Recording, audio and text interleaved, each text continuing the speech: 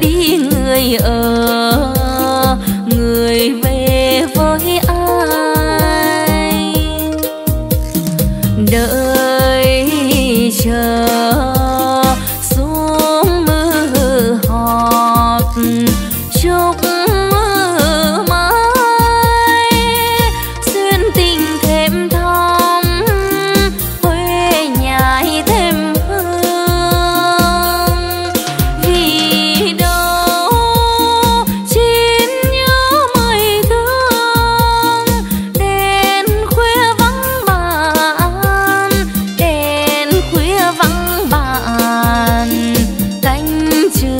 老秋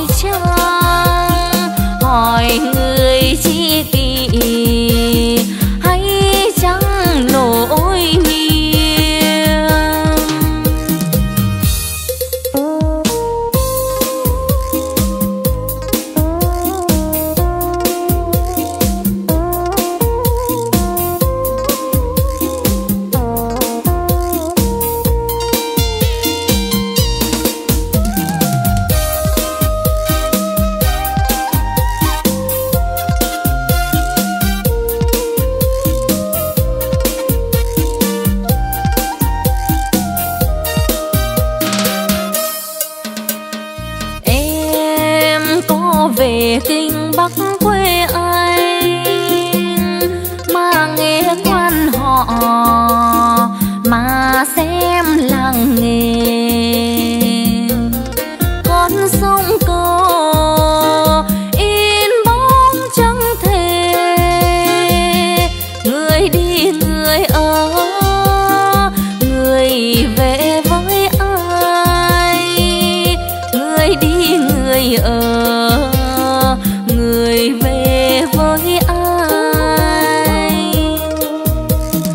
đợi chờ.